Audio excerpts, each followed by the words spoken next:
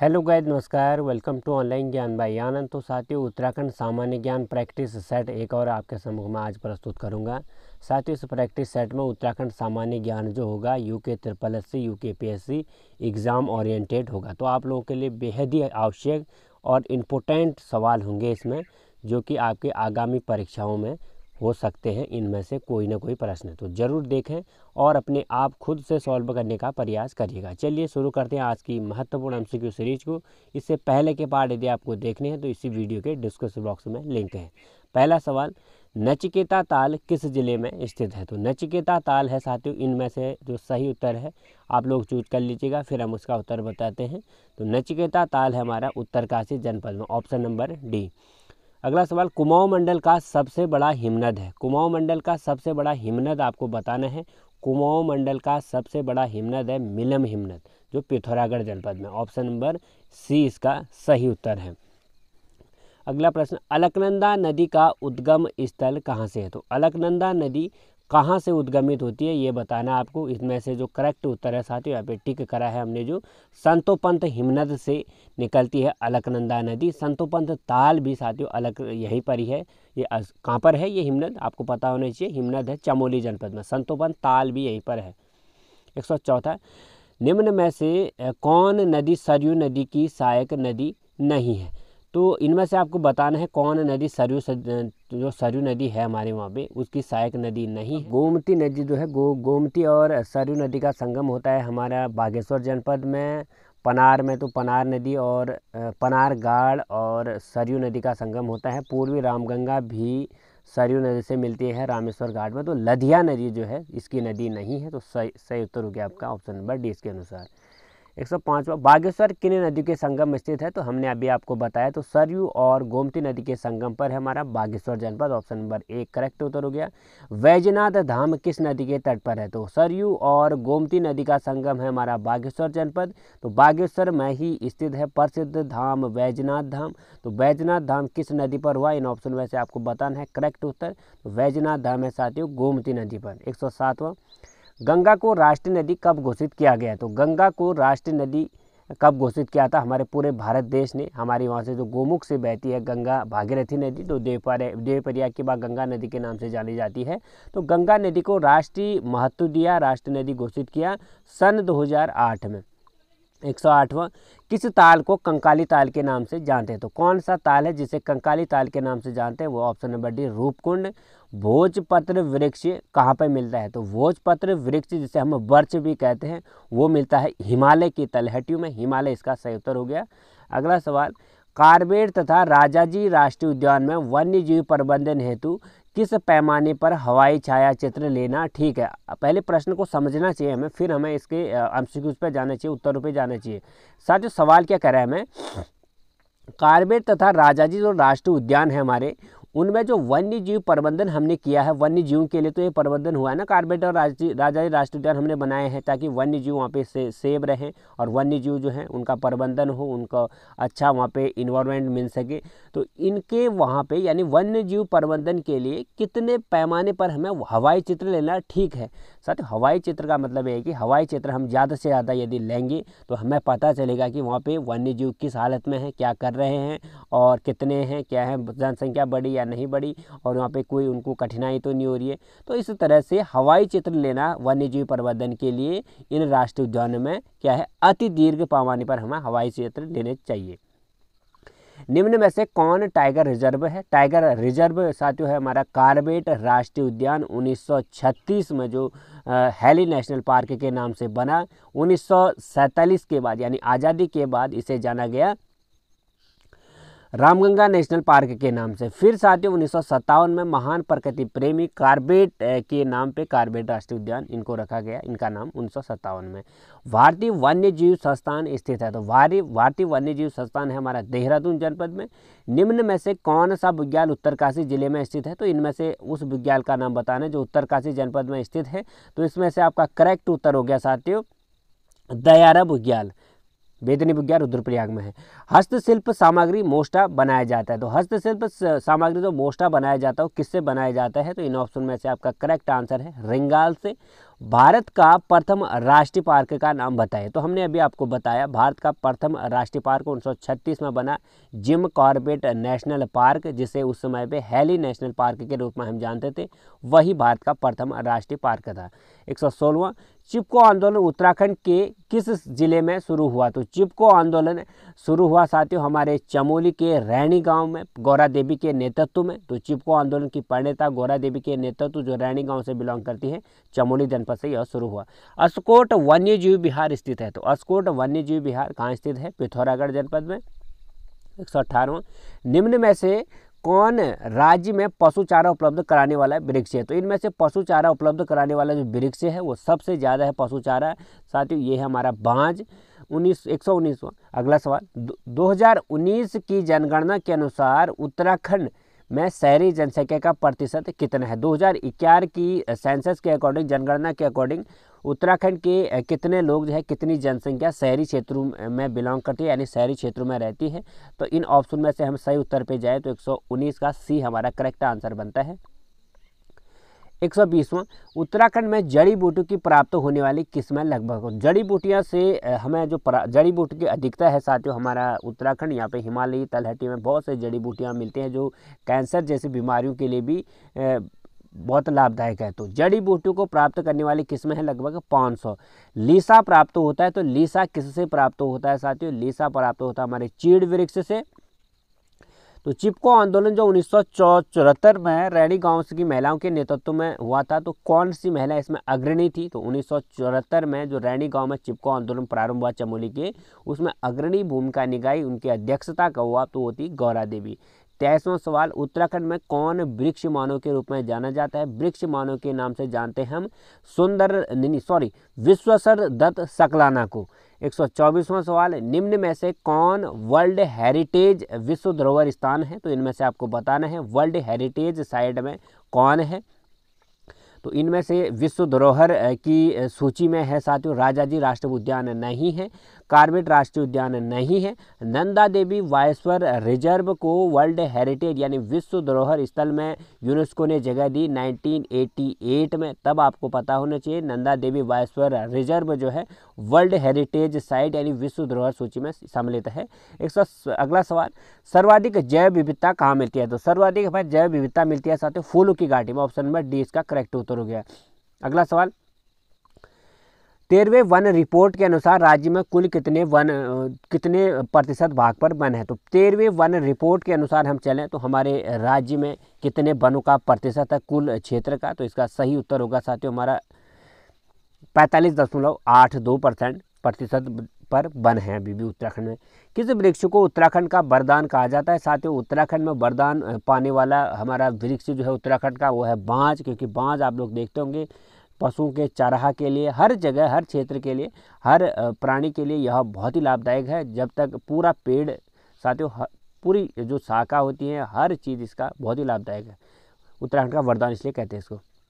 निम्न में से कौन एक फूलों की घाटी का नाम नहीं है? साथियों, नंदकानन पुराणों में इसको कहते हैं, फुंडार पार्क भी कहते हैं, पुष्पावली को हम इसको कहते हैं तो फूलों को घाटी का नाम इसमें जो नहीं है, वो है पुष्प सरोवर। निम्न में से किस ऊंचाई परिसर पर सर्वाधिक वन प्रतिशत हमें मिलेगा? साथियों, हम उत्तराखंड आए और यदि हमें उत्तराखंड में देखना है कि किस प्रतिशत कहाँ पर वन की अधिकता है तो हमें चढ़ाई पड़नी पड़ेगी समुद्र तल से कितनी मीटर ऊंचाई पर? तो ये आपको बताना है इसका उत्तर। तो इसका उत्तर है अठारह सौ से तीन हज़ार समुद्र की ऊंचाई पर मीटर जो है साथियों, वहाँ पर हमें सर्वाधिक वन प्रतिशत मिलेगा। राज्य के किस वृक्ष को शिव की जटा कहा जाता है? तो राज्य का कौन सा वृक्ष ऐसा है जिसको हम शिव जटा के रूप में जानते हैं? वही वृक्ष साथ उत्तराखंड का वरदान जिसे हम कहते हैं, उसको शिव की जटा के रूप में भी कहते हैं, वह बांझ वृक्ष। नंदा देवी राष्ट्रीय उद्यान को विश्व धरोहर की सूची में शामिल किया था। नंदा देवी राष्ट्रीय उद्यान को विश्व धुरी सचिव में शामिल किया था यूनेस्को ने नाइनटीन में। पाणी राखो आंदोलन के सूत्रधार कौन थे? तो पाणी राखो आंदोलन के सूत्रधार इनमें से आपको बताना थे, वो थे सचिनानंद भारती थे ऑप्शन नंबर एक, करेक्ट उत्तर है। राज्य के पर्वतीय क्षेत्रों के अधिकांशतः मृदा का पीएच होता है। यदि हम राज्य की मृदा को, का पीएच मान पीएच मान नापे पर्वतीय क्षेत्रों में, पहाड़ी क्षेत्रों में तो हमें कितने से कितने के मध्य मिलेगा?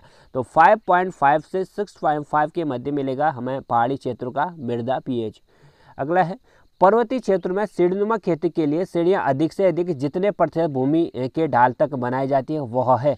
तो पर्वतीय क्षेत्र में सीढ़ीनुमा खेती के लिए सीढ़ियाँ अधिक से अधिक कितने प्रतिशत भूमि के ढाल पर बनाई जाती हैं? तो इनमें से आपको बताना है कितने प्रतिशत तो इसका सही उत्तर है साथियों, पंद्रह प्रतिशत। निम्न में से कौन सी फ़सल राज्य के तराई क्षेत्र में अप्रैल माह में फूल जाने की अवस्था में दिखती है? तो अप्रैल माह में फूल जाने की अवस्था में दिखती है सूर्यमुखी, ऑप्शन नंबर सी, इसका करेक्ट उत्तर है। अगला सवाल, राज्य के पर्वतीय क्षेत्र की कृषि में मानव श्रम का प्रमुख योगदान उपलब्ध कराया जाता है? तो राज्य के पर्वतीय क्षेत्र की कृषि में मानव श्रम का प्रमुख योगदान जो है वो कितना है? तो आपको सही उत्तर बना है, महिला कर्मकारों का। एक सौ अगला सवाल है सैंतीसवां।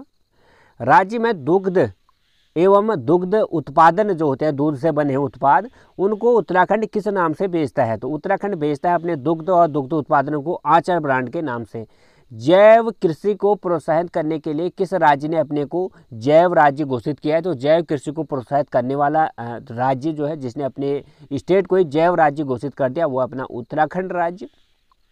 एक सौ उत्तराखंड में उगाई जाने वाली फ़सलों में सबसे महत्वपूर्ण समूह कौन सा है? तो इनमें से आपको बताना है, उस फ़सल समूह का नाम जो उत्तराखंड में उमाई जा उगाई जाने वाली प्रमुख फ़सलों की श्रेणी में आता है। गेहूँ, धान मड़वा और आलू, इसका सही उत्तर हो गया। अगला सवाल Guinness book all world record में अल्मोड़ा दर्ज है। यहाँ पे 6.6 मीटर ऊंचाई पर एक पौधा लगाया था, जिनके लिए उनको वर्ल्ड हेरिटेज में, वर्ल्ड रिकॉर्ड्स में, Guinness book all world record में उनका नाम दर्ज है। वह पौधा किसका था? तो मिर्च का पौधा था। 6.6 मीटर इसकी ऊंचाई थी। उत्तराखंड में कृषि भूमि नापने का यंत्र है। तो उत्तराखंड जो कृषि भूमि होती है, अभी भी साथियों नाली और मुट्ठी से ही उत्तराखंड के लोग अपनी भूमि को नापते हैं। ऑप्शन नंबर सी उत्तराखंड में कृषि योग्य भूमि है लगभग। तो कृषि के लिए कितनी भूमि उत्तराखंड में है, ये आपको बताना है। तो तेरह परसेंट भूमि कुल भूमि का कृषि योग्य भूमि है।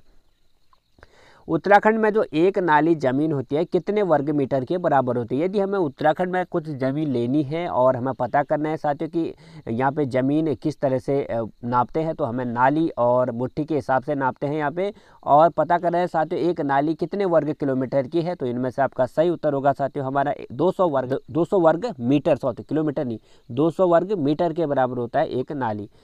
कौन सा दो वर्षीय फ़सल फ़सल चक्र उत्तराखंड के वर्षा आश्रित क्षेत्रों में लोकप्रिय है? कौन सा दो वर्षीय फ़सल चक्र उत्तराखंड के वर्षा आश्रित क्षेत्रों में लोकप्रिय है?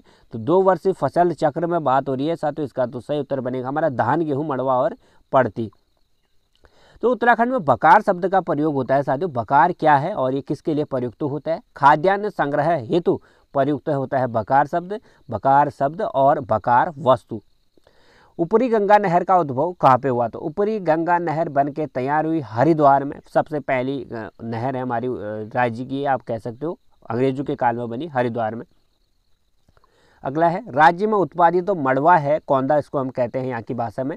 अनाज का निर्यात कौन करता है? तो यहाँ से अनाज का निर्यात करता है मड़वा का, वह है, साथियों, ये देश, इनमें से आपको बताना वो है जापान। जापान से हमारे उत्तराखंड से खरीदता है क्या? मड़वा। राज्य में व्यापक स्तर पर चाय की खेती को 1835 में प्रोत्साहित किसने किया था? तो चाय की खेती को 1835 में व्यापक स्तर पर प्रोत्साहित किया था यह आपको बताना है इसमें से। तो सही उत्तर बनेगा डॉक्टर रायले ने। तो डॉक्टर रायले ने चाय की खेती को 1835 में यहाँ पे प्रोत्साहित किया था। स्वतंत्रता के बाद राज्य में पहला भूमि बंदोबस्त कब हुआ? साथियों, भूमि बंदोबस्त पहले से यहाँ पे हुए, यानी स्वतंत्रता के बाद जो पहला भूमि बंदोबस्त हुआ, वो आपको बताना है। तो स्वतंत्र जब आज़ादी हमें पंद्रह अगस्त उन्नीस सौ सैंतालीस को मिली, उसके बाद 1960 से चौंसठ में पहला भूमि बंदोबस्त यहाँ पे हुआ। अभिनव जवाहर योजना संबंधित है तो अभिनव जवाहर योजना किससे संबंधित है? चारा विकास से। अगला सवाल सौंदर्य प्रसाधन इत्र बनाने के उपयोग में आने वाला अफ्रीका मूल का गुलाब जैसा जो सुगंध सुगंध युक्त वह कौन सा पौधा है जिसकी खेती राज्य में की जा रही है? तो सुगंध एक बार प्रश्न, एक बार दोबारा पढ़ते हैं आपके लिए। तो सौंदर्य प्रसाधन तथा इत्र बनाने के उपयोग में आने वाला अफ्रीका मूल का गुलाब जैसा जो सुगंधित वह कौन सा पौधा है जिसकी खेती राज्य राज्य में की जा रही है वह हमारा जिरेनियम। राज्य का सबसे पुरानी नहर कौन सी है? अभी हमने आपको बताया, राज्य की सबसे पुरानी नहर बनी ऊपरी गंगा नहर। जोशीमठ ओपी रेलवे कब शुरू किया गया? जोशीमठ ओपी रेलवे की शुरुआत हुई, इनमें से आपका सही उत्तर है साथियों, वह है एक सौ तिरानवे जो हमारा एक सौ तिरपनवा है ना, इसका सही उत्तर हमारा अक्टूबर उन्नीस सौ तिरानवे में, क्योंकि आपको सितंबर और अक्टूबर में ध्यान रखना है, दो ऑप्शन करेक्ट एक एक ही जैसे हैं, पर इसका बहरा जो करेक्ट उत्तर है, वो है अक्टूबर उन्नीस सौ तिरानवे। दून स्कूल देहरादून की स्थापना कब हुई? तो दून स्कूल में देहरादून की स्थापना, इनमें से बताना है आपको, सही उत्तर है, एक सौ चौवन का आपका डी अठारह सौ अट्ठासी में दून में दून स्कूल प्रारंभ किया गया।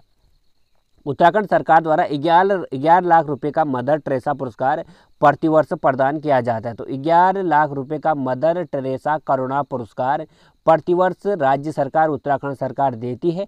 किस क्षेत्र में आपको देती है, ये पता करना है। तो इन ऑप्शन में से आपको करेक्ट उत्तर की ओर ले चलें। तो सही उत्तर है साथियों, ऐसे व्यक्ति या संस्था को जिसने इस राज्य में निर्धनों, निराश्रितों एवं दुर्बलों के जीवन में सुधार के लिए उत्कृष्ट योगदान किया है, उनको राज्य सरकार हर वर्ष ग्यारह लाख रुपए की प्रोत्साहन राशि देती है, जिसका नाम है मदर ट्रेसा करुणा पुरस्कार।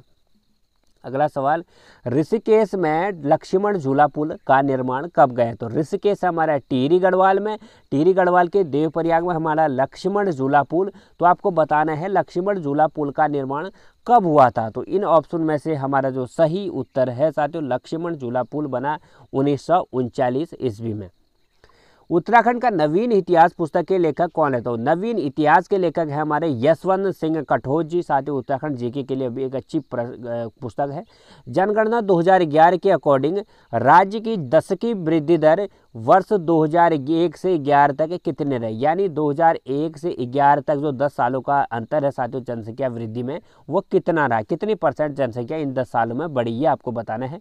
तो इसका सही उत्तर है साथियों, जनसंख्या वृद्धि जो 2001 से और ग्यारह के बीच रही हमारी, अठारह दशमलव एट वन परसेंट जनसंख्या उत्तराखंड की बढ़ी। निम्न में से कौन सा कैलाश मानसरोवर से सबसे कम दूरी पर है? तो इनमें से आपको बताना है, कैलाश मानसरोवर की यात्रा पर हम जाएँ तो सबसे कैलाश मनो, मानसरोवर इन स्थानों में से सबसे, फिर सबसे नज़दीक होगा। तो साथ ही इनमें से हमारा तवा घाट तवा घाट से कैलाश मनो, मानसरोवर सबसे कम दूरी पर है। अगला है, पिथौरागढ़ से एक सौ पैंसठ किलोमीटर दूर स्थित वह स्थान जहाँ ऊनी वस्तुएँ, साल, पश्मीना और पंखी, दुसाले, कालीन और जड़ी बूटियाँ हमें मिलती हैं, वो स्थान आपको बताना है। तो पिथौरागढ़ से कुछ दूरी पर स्थित, जो एक सौ पैंसठ दूरी पर किलोमीटर दूरी पर स्थित मुनस्यारी तहसील में हमें मिलता है, साथियों, ऊनी सॉल पश्मीना और पश्मीना साल है यहाँ पे हमारे भोटिया जनता थी सौका जनता थी ये लोग भी निवास करते हैं। गांधी जी ने श्री भगवत गीता पर अपनी प्रसिद्ध भूमिका अनाशक्ति योग कहाँ पर लिखी थी? जब गांधी जी हमारे उत्तराखंड प्रवास में थे साथियों तो कौसानी में रुके थे वो। कौसानी को उन्हें भारत का स्विट्जरलैंड भी कहा था तो यहीं पर उन्होंने अनाशक्ति योग टीका लिखा हुआ था, जो श्री भगवत गीता में उनकी भूमिका थी। भगवान शिव के बारह ज्योतिर्लिंग जो स्थापित है पूरे भारत देश में, उनमें से एक जो यहाँ पे है हमारा उत्तराखंड में, वो कौन सा है? तो भगवान शिव के बारह ज्योतिर्लिंगों में से उत्तराखंड में जो एक ज्योतिर्लिंग है, वो है हमारा केदारनाथ धाम। उत्तराखंड के चारों धामों की लोकेशन आपको बतानी है, कौन सा धाम, कहाँ पे स्थित है? हम बार बार आपको कहते हैं कि गंगोत्री, यमुनोत्री हमारा उत्तरकाशी में, बद्रीनाथ है हमारा चमोली में, केदारनाथ है हमारा रुद्र प्रयाग में। तो इस हिसाब से बना ऑप्शन नंबर सी इसका करेक्ट उत्तर। अगला सवाल साथियों, हमारा एक सौ राज्य में सर्वाधिक ऊंचाई पर स्थित मंदिर है तो सर्वाधिक ऊंचाई पर हमें जो मंदिर मिलेगा साथियों, वो मिलेगा हमें तुंगनाथ। इसका सही उत्तर हो गया एक सौ चौंसठ का सी। निम्न में से कौन सा मंदिर रानी खेत के पास में तो रानी खेत के पास में हमें कौन सा मंदिर इनमें से मिलेगा? कोटा माई का मंदिर मिलेगा हमें रानीखेत, अल्मोड़ा में, अल्मोड़ा जनपद में आता रानीखेत, इसलिए कोटा माई का मंदिर कहाँ पे है? रानीखेत में।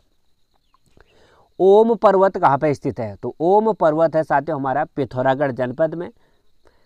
अगला सवाल, उत्तराखंड सरकार ने कब से किसान प्रोत्साहन जो पेंशन योजना है वो प्रारंभ किया? तो उत्तराखंड सरकार ने किसान प्रोत्साहन पेंशन योजना की शुरुआत कब की, ये आपको बताना है। तो इसका सही उत्तर हो गया साथियों आपका 15 अगस्त 2014 से राज्य सरकार ने किसान प्रोत्साहन पेंशन योजना की शुरुआत किसानों के लिए की। एक सौ सड़सठ का आपका बी, उसका सही उत्तर हो गया। प्रसिद्ध सूर्य मंदिर कहाँ स्थित है? तो अल्मोड़ा में स्थित है हमारा सूर्य देवता को समर्पित प्रसिद्ध सूर्य मंदिर, जिसका नाम है कटारमल। संग्राचार्य का ज्योतिर्मठ कहाँ स्थित है? तो संग्राचार्य का ज्योतिर्मठ आपको बताना इन ऑप्शन में से। तो संग्राचार्य जी का ज्योतिर्मठ है हमारा जोशीमठ में। बद्रिकाश्रम के पास स्थित जो नर नारायण पर, पर्वत है, ये किसको प्रतीक है? साथियों, आप लोग अवगत होंगे, बद्रिकाश्रम के पास जो बद्रीनाथ जो है साथियों, वो चमोली जनपद में है। तो बद्री, हम कहते हैं साथियों, विष्णु भगवान को ऐसे आप लगा सकते हैं अनुमान। तो नर नारायण पर्वत जो श्रृंखला है, जो बद्र बद्रीनाथ के बीच साइडों में है, अर्जुन व विष्णु को समर्पित है नर नारायण का पर्वत।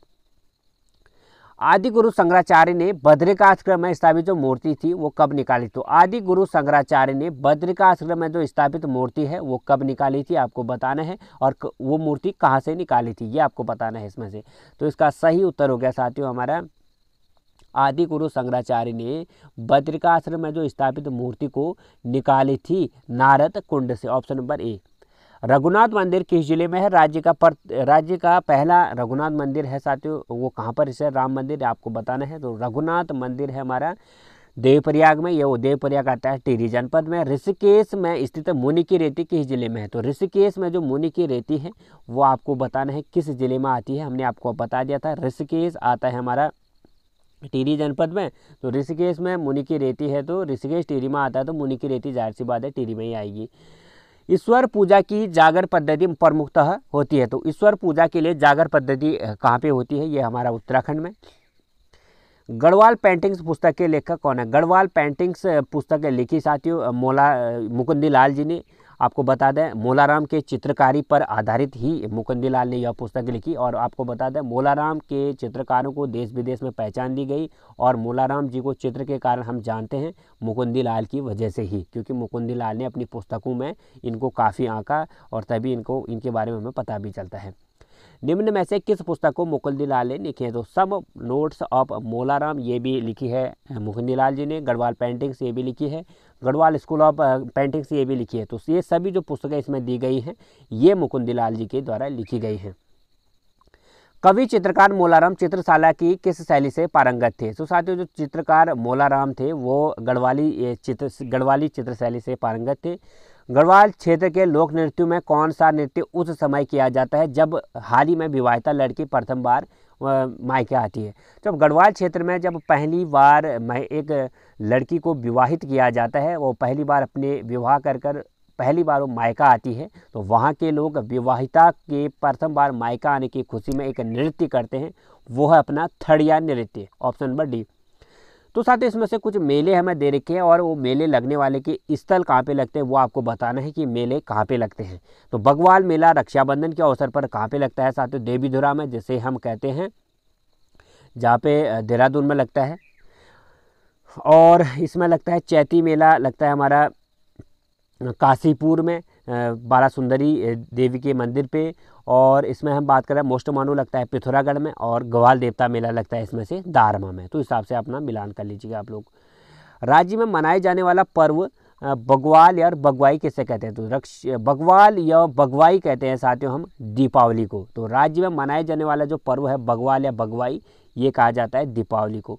झाल बिनाई और दमामा मुरियो ये क्या है? तो उत्तराखंड में या कुमाऊं क्षेत्र में कहें तो झाल बिनाई, दमामा या मुरियो किस यंत्र का नाम है? कुमाऊं के वादी यंत्र हैं जाल बिनाई, दमामा और मुरियो। हरेला क्या है? हरेला है साथियों, एक त्यौहार जो कुमाऊं क्षेत्र में खासकर प्रचलित में है। नंदा राजात यात्रा में तीर्थ यात्रा से कांसवा से होमकुंड की दूरी कितनी होती है? तो नंदा राजा तीर्थ यात्रा में कांसवा से होमकुंड की दूरी, तय दूरी कितनी है? तो ये दूरी है साथियों 280 किलोमीटर।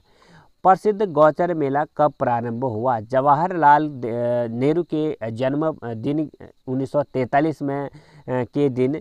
1943 से शुरू हुआ प्रसिद्ध गौ, गौचर मेला। साथ ही कर विक्रय, इस तरह से एक मेला कह सकते हो, इसको आप किसान मेला भी कह सकते हो, गौचर मेला 1943 से प्रारंभ हुआ चमोली में। सोमनाथ मासी मेला लगता है तो सोमनाथ मासी मेला कहाँ पे लगता है? उत्तराखंड के अल्मोड़ा में लगता है, जहाँ पे अल्मोड़ा में नंदा राजात यात्रा आयोजित किया जाता है। तो नंदा राजात यात्रा जो की जाती है, कितने वर्षों के अंतराल के बाद यह यात्रा शुरू होती है तो इसका जैसे ही साथ कुंभ कुंभ लगता है, हर बार वर्ष बाद वैसे ही नंदा राजा यात्रा भी बार वर्ष बाद यहाँ पे निकलती है। निम्न में से प्रथम रेल पथ का निर्माण किया गया है, वह है। तो रेल पथ का निर्माण अठारह सौ चौरासी में किया गया तो वो कौन सी है? तो किच्चा काठगोदाम वाली जो रेल पथ है ना, अठारह सौ चौरासी में इसका निर्माण पहली बार किया गया। तो जगवाल फ़िल्म किस भाषा पर बनी है? तो जगवाल फ़िल्म बनी साथियों गढ़वाली भाषा पर और मेगा जो फ़िल्म बनी, वो बनी अपनी कुमाऊनी भाषा पर कैलाश मानसरोवर यात्रा पर आए, किस दर्रे से होकर गुजरती है? तो कैलाश मानसरोवर यात्रा जब गुजरती है, साथ ही पिथौरागढ़ से होते हुए लिफुलेक से यह गुजरती है। 2011 के जनसंख्या के अकॉर्डिंग किस जनपद में सबसे कम प्रतिशत शिक्षित है? यानी साक्षरता दर सबसे कम किस जनपद की है? 2011 के अकॉर्डिंग, वो अपना उधम सिंह नगर 2011 के अनुसार राज्य का सबसे ज़्यादा जनसंख्या वाला जनपद तो सबसे ज़्यादा जनसंख्या है 2011 के अकॉर्डिंग हरिद्वार जनपद की। 2001-11 के दौरान निम्न में से किस ज़िले का जनसंख्या वृद्धि दर ऋणात्मक रहा 2001 से 11 के अकॉर्डिंग वो जनपद बताना है, जहाँ पे जनसंख्या वृद्धि बिल्कुल भी नहीं हुई। हालाँकि बड़ी तो नहीं, घट जो गई। वो वो जिला है अपना अल्मोड़ा ज़िला। 2011 के अनुसार सर्वाधिक साक्षरता दर वाला जनपद है। तो 2011 के अनुसार सर्वाधिक साक्षरता दर वाला जिला है अपना देहरादून। 2011 की जनगणना के अनुसार राज्य में पुरुष और महिला साक्षरता का प्रतिशत कितना है? तो 2011 के अकॉर्डिंग पुरुष और महिला जो साक्षरता है उत्तराखंड में 87.82 परसेंट यहाँ पुरुष साक्षर है 70 परसेंट महिला यहाँ पे साक्षर है। Option number A. अगला सवाल 2011 के अनुसार राज्य में औसत साक्षरता दर कितनी है? यदि पुरुषों और महिलाओं की औसत निकाल कर हम पूरी साक्षरता दर निकालें तो 2011 के अकॉर्डिंग वो कितनी बनी है? तो 78.82 परसेंट जो है साक्षरता यहाँ पे औसत है। 2011 के अनुसार सर्वाधिक लिंगानुपात वाला जिला तो सरगा, सर्वाधिक लिंगानुपात वाला जिला भी है हमारा अल्मोड़ा ऑप्शन नंबर ए लिंगानुपात कैसे निकालते हैं? हज़ार पे हज़ार पुरुषों पर महिलाओं का आंकड़ा निकाला जाता है। 2011 के अनुसार सबसे कम लिंगानुपात वाला तो सबसे ज़्यादा वाला हो गया अल्मोड़ा, सबसे कम वाला आपको बताना है, वो है हरिद्वार। थारू लोग अधिकांशतः निवास करते हैं। तो थारू लोग सबसे ज़्यादा निवास कहाँ पे करते हैं? उधम सिंह नगर में। निम्न में से किसे थारू शोक पर्व के रूप में मनाते हैं? थारू लोग हमारे किस पर्व को शोक पर्व के रूप में मनाते हैं? तो थारू लोग शोक पर्व के रूप में मनाते हैं। दीपावली को निम्न में से कौन देहरादून में सबसे अधिक जनसंख्या है? तो देहरादून की बात करें या इस समुदाय में बात करें कि हमारे जो जनजाति हैं, उनमें सबसे ज़्यादा जनसंख्या किसकी है? इसकी बात करें तो जौनसारी जनजाति सबसे बड़ी और सबसे अधिक जो रहते हैं ये लोग देहरादून में हैं। चीन युद्ध उन्नीस सौ बासठ से पूर्व कौन जनजाति के लोग तिब्बत से व्यापार करते थे? तो जब चीन युद्ध हुआ था साथियों, उन्नीस में भारत और चीन के विरुद्ध तो उससे पहले, चीन युद्ध से पहले हमारी एक उत्तराखंड की एक जनजाति थी जो तिब्बत से व्यापार करती थी, क्योंकि उन्नीस सौ बासठ के बाद आप लोगों को इतिहास पता होगा कि आधिपत्य हो गया था चीन का तिब्बत में, जिससे ये जो व्यापार होते थे दर्रों के द्वारा, जो हमारे दर्रे थे, उनसे पैदल मार्ग से वो दर्रे। वहाँ से ये क्या हुआ व्यापार लगभग समाप्ति हो गया। तो चीन युद्ध उन्नीस सौ बासठ से पूर्व जनजाति के लोग, कौन सी जनजाति के लोग? भोटिया जनजाति के लोग। ऑप्शन नंबर ए, किस जनजाति द्वारा ऋतु प्रवास किया जाता है? तो ऋतु प्रवास करने वाली जनजाति भी है भोटिया लोग, क्योंकि ये चरागाह वाले होते हैं, चरवाहे होते हैं, यानी भेड़, बकरी पालक होते हैं ये लोग। जब घास एक जगह से दूसरी जगह, या शीत ऋतु में या ग्रीष्म ऋतु में ये लोग अपनी जगह ऋतु प्रवास कर देते हैं। खुमरी नामक जो राजनीतिक संस्था होती है, किस जनजाति में पाई जाती है? तो खुमरी नामक राजनीतिक जो प्रथा होती है, वो पाई जाती है हमारी जौनसारी जनजाति में। महासु, महाशिव निम्न में से किस जनजाति के देवता है? तो महासु देवता मानते हैं साथियों, जौनसारी लोग। हनोल निम्न में से किन जनजाति समुदाय का मुख्य तीर्थ स्थल है? तो हनोल भी साथियों है हमारा जौनसारी जनजाति का। तीर्थ स्थल। उत्तराखंड में रेलवे का कौन सा अंतिम रेल स्टेशन गढ़वाल और कुमाऊं दोनों के लिए उपयोगी है? तो उत्तराखंड का रेलवे स्टेशन का नाम बताना है, जो गढ़वाल और कुमाऊं दोनों के लिए उपयोगी है, वो है Ramnagar, option number C. Uttarakhand में मोटर यात्रा योग्य कंडी मार्ग का खुलना महत्वपूर्ण है, क्योंकि यह यात्रा दूरी को काफ़ी हद तक कम कर देती है। तो यह कंडी मार्ग कहाँ से कहाँ तक है, ये आपको बताना है। तो कंडी मार्ग है साथियों, हमारा इन ऑप्शन में से सही उत्तर आपका है, रामनगर एवं हरिद्वार के मध्य। प्रस्तावित हिमालय, हिमालयन राजमार्ग परियोजना की क्रियान्वित किया जा रहा है। तो प्रस्तावित जो हिमालयन राजमार्ग परियोजना है, उसको क्रियान्वित किया जा रहा है कहाँ से कहाँ तक, ये आपको बताना है। तो इसका सही उत्तर है मुंशियारी से माणा तक। राज्य में कुल कितने राष्ट्रीय राजमार्ग हैं? तो राज्य में हमारे कुल राष्ट्रीय राजमार्ग आपको बताने हैं। तो इसका सही उत्तर है राष्ट्रीय राजमार्ग हमारे उत्तराखंड में कितने हैं? चौदह। बद्रीनाथ मंदिर स्थित जो राष्ट्रीय राजमार्ग है, वो किस राष्ट्रीय राजमार्ग के अंतर्गत आता है? बद्रीनाथ आता है हमारा साथियों एन एच फिफ्टी एट के अंतर्गत, नेशनल हाईवे फिफ्टी एट। जोशारी में धरासू तक विद्युत परियोजना हेतु जल ले जाने के लिए निर्मित 16 किलोमीटर लंबी भूमिगत सुरंग स्थित है।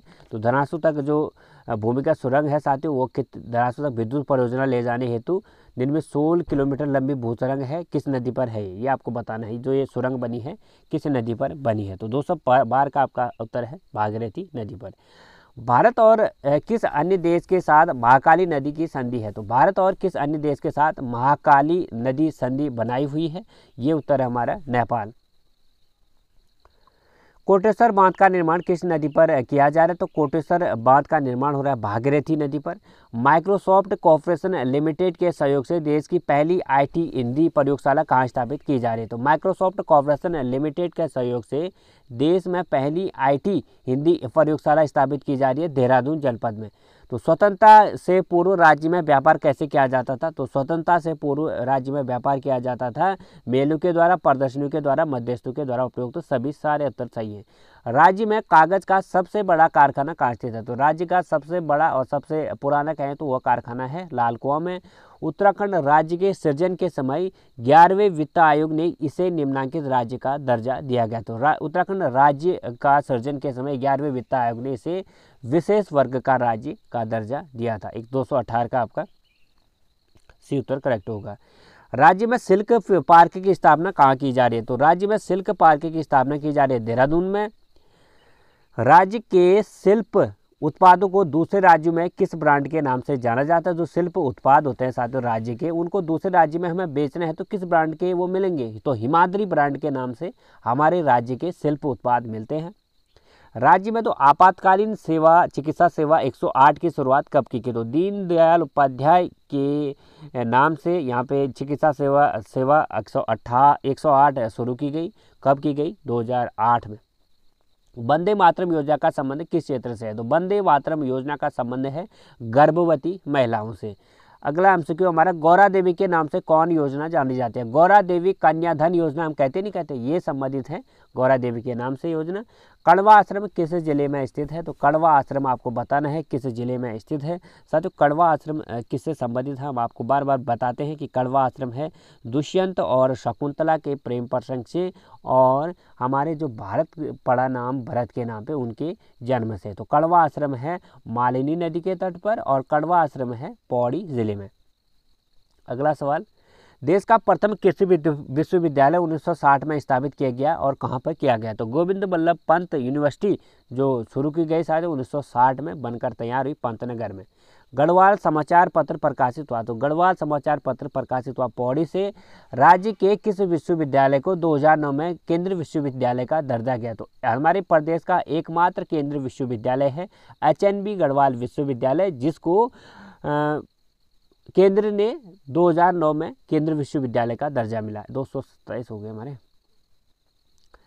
फिर तो साथियों ये आई होप आपको समझ ये सारे अच्छे लगे होंगे प्रश्न। फिर मिलूँगा मैं उत्तराखंड के एमसीक्यूज के न्यूज़ सीरीज़ के साथ आपके समूह। तो बने रहेगा हमारे वीडियोज़ में आप लोग। यदि आप लोगों को हमारे पिछले पार्ट देखने हैं तो इसी वीडियो के डिस्क्रिप्शन बॉक्स में जाइएगा। वहाँ आप लोग हमारे पुराने पार्टों से अवगत हो सकते हैं। तो मिलता हूँ साथियों, मैं आनंद, मेरा उत्तराखंड के सामान्य ज्ञान के न्यू प्रैक्टिस सेट हिंदी व्याकरण के न्यू प्रैक्टिस सेट जीएस के न्यू प्रैक्टिस सेट के साथ आपके समूह। तो सब्सक्राइब हमारे चैनल को ज़रूर करें। बगल में बेल आइकन में धन्यवाद। God bless you